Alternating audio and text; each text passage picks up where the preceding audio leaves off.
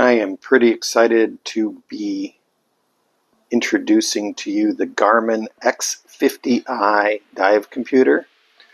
This one is one we've been testing at Divers Incorporated for about a year now.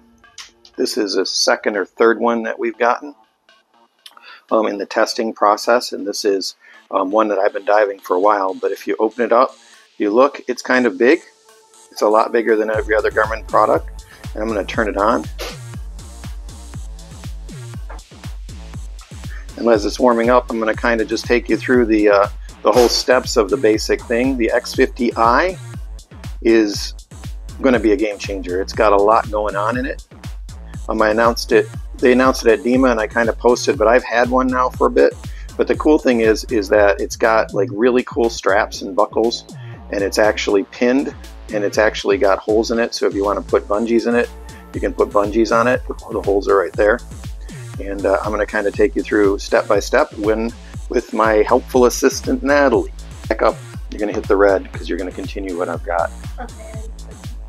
Are we doing that? Okay, cool. So um, what we've got is the Garmin Descent um, X50i it is got a transmitter you can get with it. It takes all of the transmitters, but the T2 transmitter, it does some really, really cool stuff with it.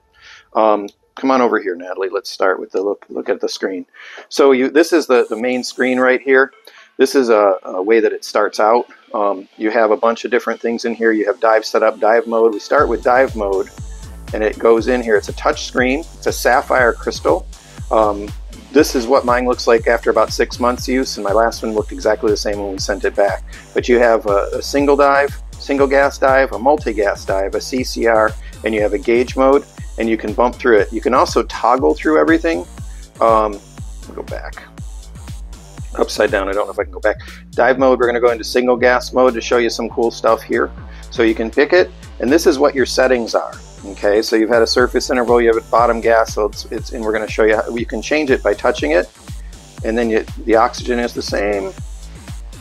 Back, and we have helium, which we don't use, we're not using today. We're going to go that. Whoop. You can use the toggle buttons too to go up and down, um, if you want. You can also use the touchscreen. Touchscreen is a little bit more sensitive, um, but then uh, back, we've got it. Air, Maximum depth, salt water, fresh water, you can change that. Okay, change it here, fresh, nice touch screen that goes through, back it out. And we've got it set up and we can view, view the setup. This is everything, back it out. And then we can hit confirm and now it's ready to dive. This is the dive screen. Some really cool things on the dive screen. This is going to not be changeable. So this is going to be the decompression information, but all of these fields, either now or soon, you will be able to move them over here. But all of these fields are completely customizable. I'm going to show you how to do that. It's scrolled through through um, the, the scrolling screen, the compass. Um, it's got surface interval. This one will show you the graph of the dive as you're going. Um, and then you have, this is my transmitter, and you can put all the transmitters in here. Um, this is something cool here. For this transmitter, if it's a T2 transmitter, it'll show you the depth of that transmitter and it'll show you the distance from your transmitter. So with this, it's mine, but if it was somebody else's, it would show the distance here away from me, and then it would show you the depth that they're at, which is kind of cool. And then I think that is, oh, this one's waiting for some comms on all the other stuff that I have in there. Shows me battery life, time of day, and uh, back to the main screen. Now I'm going to back out of this because I want to show you how to set it up. We can go to Dive Setup, and we have this really cool thing that I want to show you where you can pick it. It's got all the same kind of stuff that um, that the, the, the Descent um, Mark uh, 3 has, but um, it doesn't have a lot of, like it doesn't have the, the um, pulse ox and that, but it does have a lot more maps and, and, and it will be able to do a lot more of the different mapping. But you can pick which one you want to do. We're going to go into the single gas mode that we want, and I'll do another um, one on the other ones later down the road. But this is the data screens. And we can choose the data screens. You can choose the order of the data screens, and you have a whole bunch of data screens over here at the side. So we can scroll down and we can pick um, the reorder, data fields, remove, but I'm going to go into um, back and I'm going to actually add one. You're changing the data. Oh, I'm sorry. Back up. X out of that. I don't want to change that. Thanks. we're going to go into, oh, I'm going to go down, add new. So I'm going to add a new one. I'm going to custom the data and we can choose the custom data and we have the ability to have a one field, a two field, a three field, a three field that's set up with a bigger bottom, four field, five field, and six fields. These fields can be anything that you want. You pick the field, oh, you hit check that I want this. Now it's choosing field one. You have basic. You can choose from all of these things that it'll show you. Okay, or you can go back here and you go to the next one. You can have technical. You can put all of those on the same one. You've got the sensors. You can put whichever sensors you want on there. And then you have the time. And then you have the subwave technology, which is all your air time remaining, everything coming from the, from the um, sonar. Um, this is my tank pressure. I can have what I want to show under my stuff, and I can do that for each one of the transmitters that's in there.